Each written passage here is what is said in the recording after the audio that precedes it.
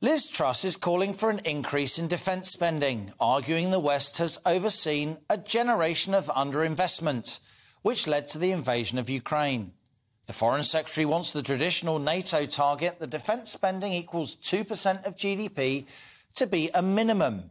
2% of UK GDP, that's currently around £43 billion, or roughly 60% of what the UK government currently spends on education.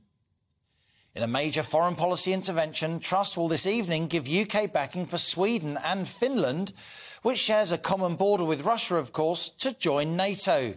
The free world needs to reboot, recast, and remodel its approach to deterring aggressors, she will argue, while vowing, in her words, to double down on UK military support for Ukraine. While the UK and NATO aren't engaged in military conflict directly with Russia, of course, this is a full on East West economic war. Western sanctions are in place trying to prevent goods and financial flows from moving in and out of Russia.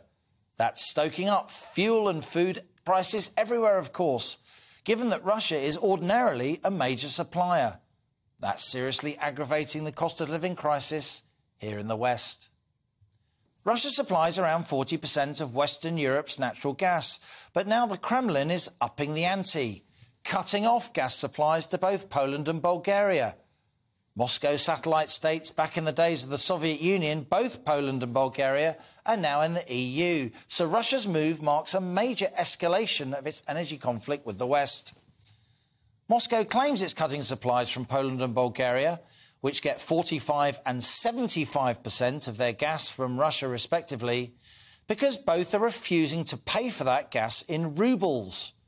The Kremlin wants ruble payment to shore up its currency and presumably to get around Western sanctions, now excluding Russia from the US dominated SWIFT banking network, which limits Moscow's ability to make payments abroad in other currencies. At the start of this month, UK household utility bills rose an average of 40, 54% on average, as energy regulator raised the price cap to reflect soaring wholesale gas prices. There are more increases in the pipeline, and this row with Russia won't help. On European markets this morning, the gas price spiked by 20% on news of the Kremlin's move. Poland accuses Russia of gas imperialism Bulgaria says it's blackmail.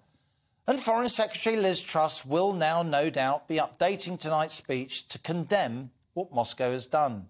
But be in no doubt, this refusal to pump gas to certain EU nations marks a major escalation as Moscow pushes back against Western sanctions, sanctions which the West may now, in turn, choose to tighten even more. And that's our on the money question today.